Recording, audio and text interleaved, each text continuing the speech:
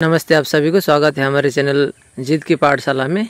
आज से हम लोग डिस्कस करेंगे क्लास टेन का elective geography chapter six regional geography of India तो चलिए, बिना किसी देरी के इस वीडियो को शुरू करते हैं।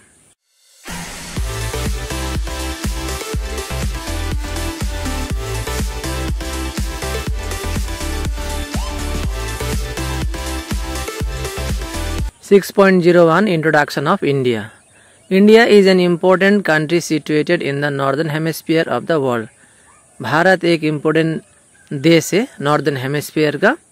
It is one of the largest democratic nations of the world following within the continent of Asia और इंडिया एशिया कॉन्टिनेंट का एक बड़ा डेमोक्रेटिक नेशन है। The country is full of diversities और यहाँ पे बहुत सारे डाइवर्सिटीज़ देखने को मिलेंगे। यहाँ पे लैंग्वेज रिलीजन कम्युनिटीज़ यहाँ पे बहुत अलग अलग प्रकार के पाए जाते हैं। Such diversities are apparent due to variation in its climate physical environment and socio economic condition और यहाँ पे जो डाइवर्सिटीज देखने को मिलता है, इसका रीजन क्लाइमेट फ़िज़िकल इन्वायरमेंट साथ ही सोशियो इकोनॉमिक कंडीशन भी है। As against the very cold climates found over the snow covered Himalayas there are also very hot climates in the dry sandy desert region of Rajasthan एक तरफ़ snow covered, यानी कि snow से ढका हुआ जगह भी आपको देखने मिलेगा। वहीं दूसरे तरफ़ ऐसा जगह भी बहुत सारा है यहाँ पे, जो कि ड्राई है और फुल ऑफ़ डिजर्ट है, जैसे कि राजस्थान। अगर स्नो कवर्ड का बात करते हैं तो हिमालयस में हम लोग को देखने को मिलेगा।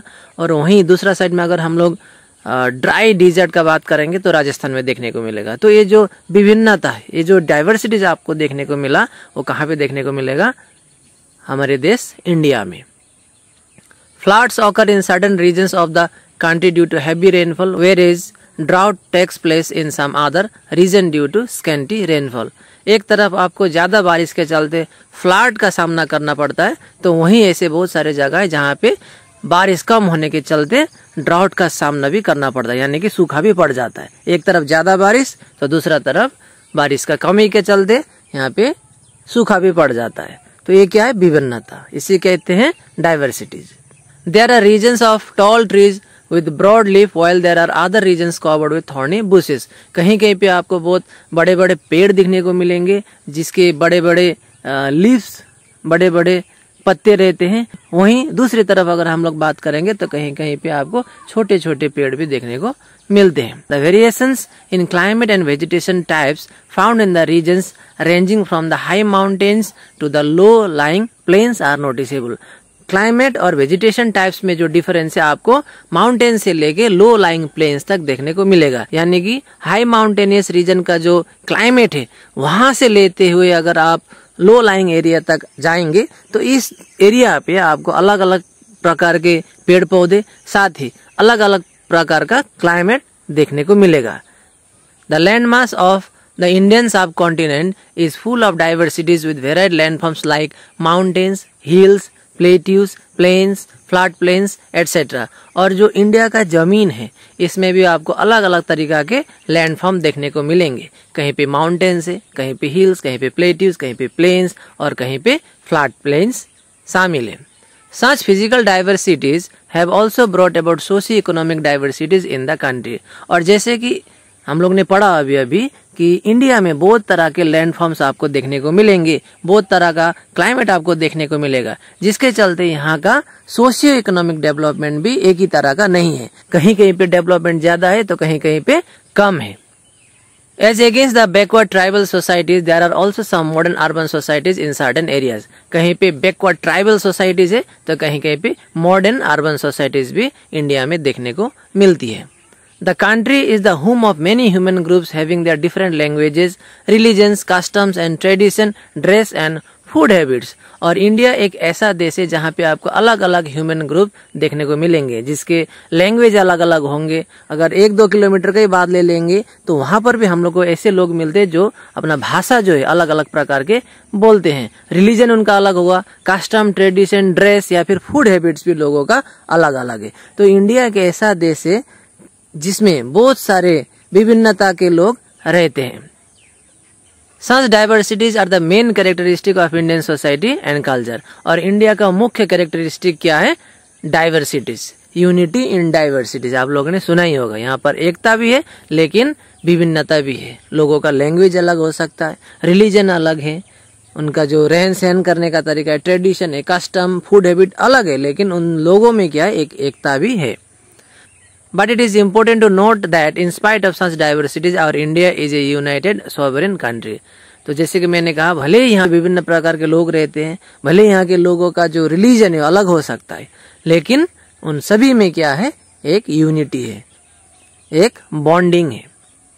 Unity and integration are the tradition of this country और लोगों में जो एकता है, यही हमारे देश का एक मुख्य ट्रेडिशन है, जो कि बहुत पहले से चलते आ रहा है।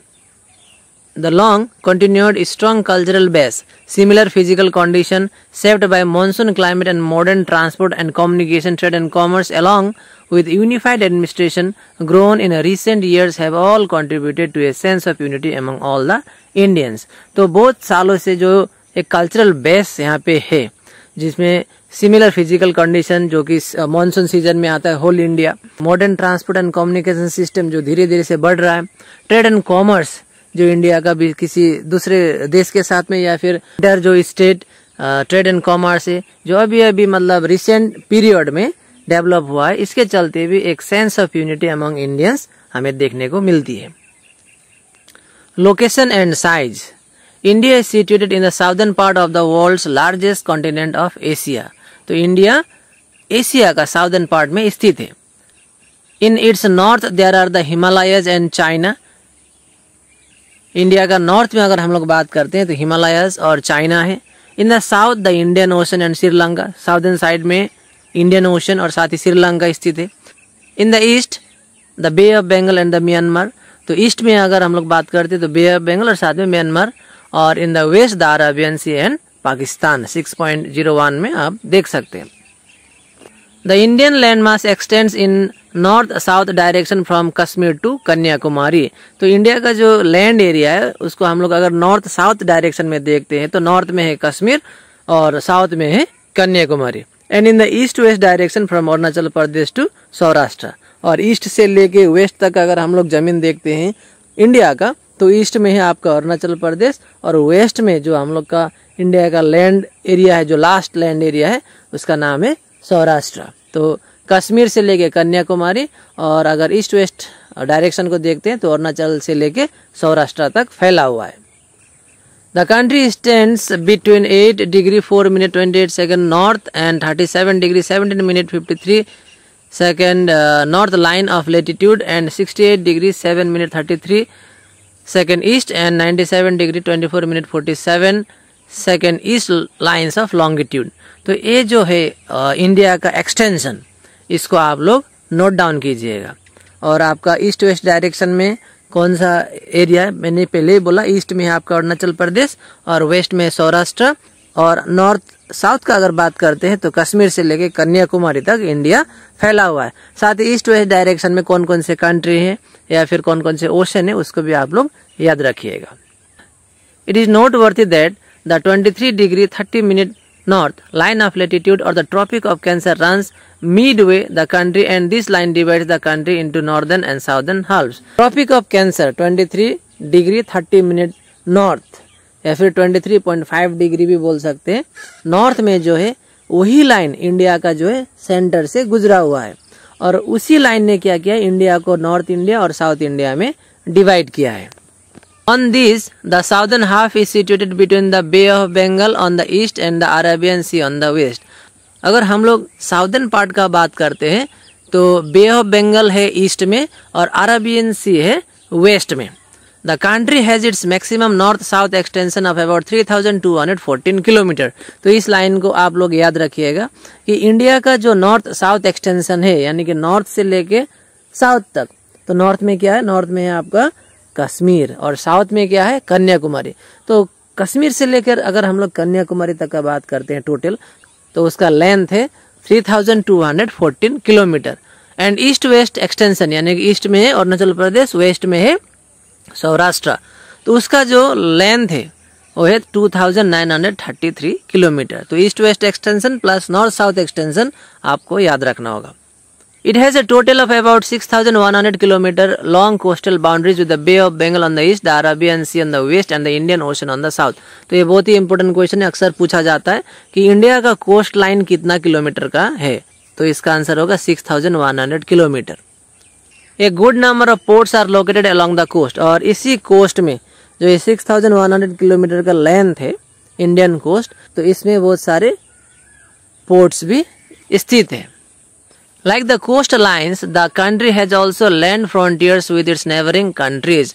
और जिस तरह से हमने कोस्ट लाइन पढ़ा उसी तरह का लैंड बाउंड्रीज भी इंडिया का तो ही तो उसका जो लेंथ है जो कि बॉर्डर लाइन है लैंड बाउंड्री है इंडिया शेयर करता है पाकिस्तान के साथ में वेस्ट में चाइना नेपाल भूटान नॉर्थ में फिर China on east and Myanmar and Bangladesh on south east तो ये कुल मिला के जो इंडिया अपना जो लैंड बाउंड्री शेयर करता है या फिर इंडिया का जो लैंड बॉर्डर से लैंड बाउंड्री है उसका लेंथ है 15,200 किलोमीटर तो इंडिया का जो कोस्ट लाइन है वो है 6,100 किलोमीटर जबकि इंडिया का लैंड बाउंड्री है 15,200 किलोमीटर इसको याद रखिएगा। 6,100 है आपका कोस्ट लाइन जबकि लैंड बाउंड्री है 15,200 किलोमीटर ये दोनों पॉइंट को याद रखिएगा क्योंकि मैक्सिमम टाइम ये पूछे गए हैं। India is a vast country in size it rank seventh among the countries of the world जैसे कि हम जानते हैं कि इंडिया एक बड़ा देश है। अगर हम लोग साइज़ का बात करते हैं तो इंडिया सेवेंथ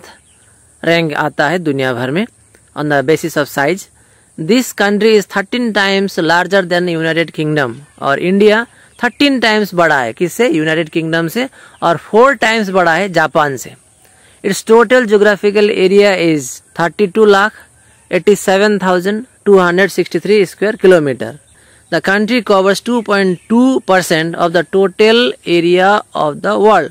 तो वर्ल्ड का जितना भी एरिया है, उसका 2.2 परसेंट कहाँ पर है? इंडिया में। यानी कि इंडिया का जो एरिया है, वो दुनिया भर का कितना परसेंट है? सिर्फ़ 2.2 percent India is also called a subcontinent in view of its vast size and extension India को एक साफ़ कॉन्टिनेंट भी कहा जाता है, क्योंकि इसका जो एरिया है उसके चलते it is a large democratic country with 28 states and seven union territories तो इंडिया एक बहुत ही बड़ा देश है, जहाँ पे 28 स्टेट और सेवन यूनियन टेरिटोरीज यहाँ पे बताए गए हैं। लेकिन अभी फ़िलहाल ये डाटा चेंज हुआ है। आप लोग कमेंट करके बताइएगा कि अभी प्रेजेंटली कितने स्टेट और कितने यूनियन टेरिटोरीज है।